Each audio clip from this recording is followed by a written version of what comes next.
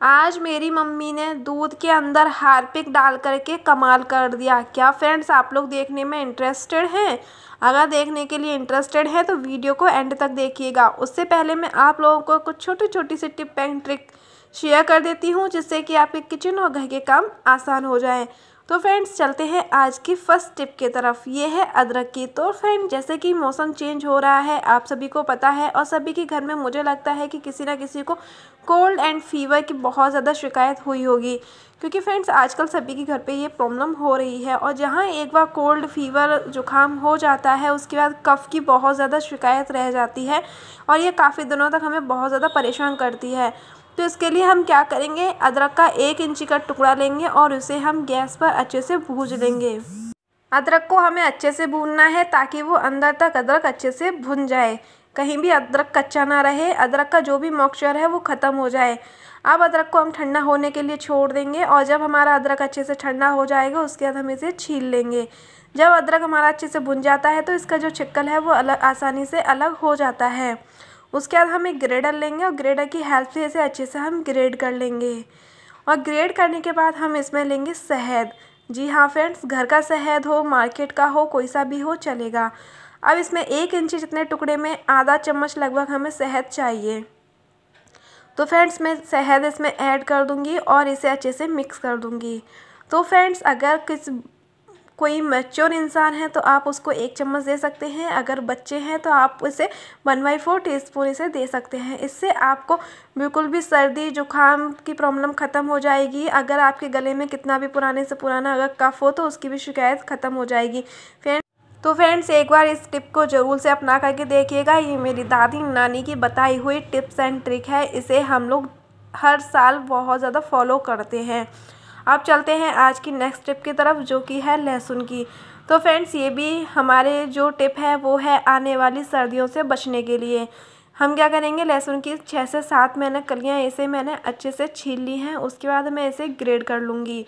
जो भी फ्रेंड्स सर्दियाँ आने वाली हैं तो उससे भी बचने के लिए हमें छोटी छोटी टिप्स एंड ट्रिक को पता होना चाहिए, जिससे कि हमें दिक्कत ना हो आने वाली सर्दियों से। तो इसे क्या करेंगे? हम अच्छे से ग्रेड कर लेंगे। ग्रेड करने के बाद मैं इसमें वन बाई फोर टी हल्दी लूँगी। जी हाँ फ्रेंड जो टर्मेरिक पाउडर होता है, उसे हम लेंगे। और उसके बाद मैं इसमें ऑयल डालूँगी। मैं इसमें एलमंड ऑयल डाल रही हूँ। आपके पास इसमें जो ऑयल हो, वो आप डाल सकते हैं। कोकोनट ऑयल बादाम का ऑयल या फिर आप ऑलिव ऑयल कोई सा भी ऑयल इसमें ऐड कर सकते हैं। अब इसे अच्छे से मिक्स कर लेंगे।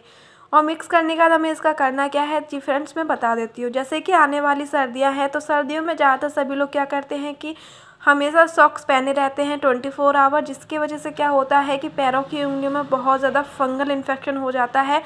उंगलियाँ जो होती हैं, उनके जो बीच का हिस्सा होता है, वहाँ पर बहुत ज़्यादा रेडपन हो जाता है फंगल इन्फेक्शन या फिर अदर इन्फेक्शन हो जाता है, जिससे कि बहुत ज़्यादा प्रॉब्लम होती है इचिंग की शिकायत हो जाती है। तो इस तरीके से जो पैर की उंगलियाँ होती हैं, वहाँ पर आप इस तरीके से लगा सकते हैं। मैं आपको हाथ की उंगलियों में लगा के देखे, दिखा रही हूँ। आपकी कितना भी फंगल इन्फेक्शन हो या फिर अदर इन्फेक्शन हो, सारी की सारी प्रॉब्लम से शिकायत से मुक्ति मिल जाएगी आप लोगों को और साथ ही साथ में आप जो भी केमिकल्स का यूज़ करेंगे, वो आप नहीं कर पाएँगे। अब चलते हैं आज की नेक्स्ट टिप की तरफ़।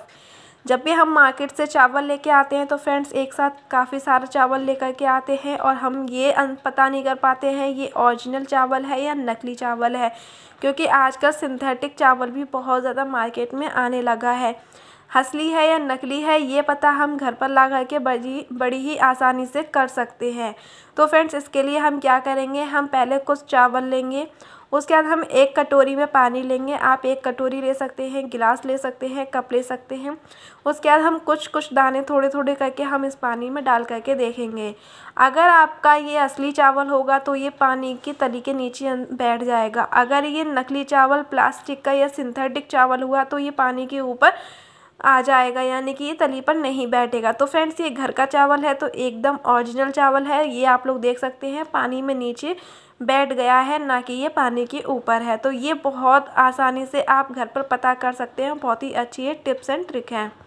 आप चलते हैं आज की नेक्स्ट टिप की तरफ़। ये मैंने दूध लिया है, ये मैंने लगभग चार चम्मच दूध लिया है, जिसमें मैंने आधा कप पानी ऐड कर दिया है। उसके बाद हम लेंगे इसमें हारपिक और हारपिक को इसमें ऐड कर देंगे। लगभग मैंने दो चम्मच के लगभग ये हारपिक लिया है और इसे अच्छे से मिक्स कर देंगे। और अब हमें इसका करना क्या है, वो भी मैं आज आप लोगों को बता देती हूँ। जैसा कि आप लोगों को पता है, त्यौहार का टाइम आने वाला है, दिवाली पर सभी लोग अपने घर की डीप क्लीनिंग करते हैं। तो मैं आपको बता रही हूँ जो हमारा सिंक एरिया होता है जिसे हम डेली के डेली साफ़ करते हैं उसके बाद क्या होता है कहीं कहीं हार्ड पानी आता है तो पा, पानी के छींटे बहुत ज़्यादा पड़ जाते हैं जो कि हम कितना भी डिशवॉश से साफ़ कर लें वो साफ़ नहीं होते हैं। तो हम इस लिक्विड से इसे साफ़ करेंगे तो आपके सिंक के टाइल्स के जितने भी दाग धब्बे होंगे सारे के सारे साफ़ हो जाएँगे। अगर आप दिवाली पर अगर आप टाइल्स साफ़ कर रहे हैं वॉशरूम साफ़ कर रहे हैं तो आप इससे साफ़ कर सकते हैं बहुत ही आसानी से साफ़ हो जाएगा। अब आप लोग कहेंगे, हार्पिक से हमने डायरेक्ट क्यों नहीं किया? अगर हम हार्पिक को डायरेक्ट अगर यूज़ करते हैं तो उससे हमारी जो स्टील होती है, सिंक की, वो ख़राब हो जाएगी, काली हो जाएगी, और साथ ही साथ में अगर हम टाइल्स के ऊपर करेंगे तो वो वाइट वाइट दाग छोड़ देता है, बहुत ही गंदा लगता है। तो इस वजह से हम हार्पिक में कुछ ना कुछ मिक्स करके करते हैं तो हार्पिक इतना हार्ड नहीं रहता है। तो फ्रेंड्स, अगर आज की आपको एक भी टिप्स एंड ट्रिक अच्छी लगी हो तो प्लीज़ वीडियो को लाइक कर देना, अपने फैमिली एंड फ्रेंड के साथ वीडियो को शेयर कर देना और चैनल पर फ़र्स्ट टाइम आए हैं तो चैनल को सब्सक्राइब कर लेना। और फ्रेंड्स, कमेंट करके ज़रूर बताना कि आज की आपको कौन सी टिप्स अच्छी लगी। तब तक के लिए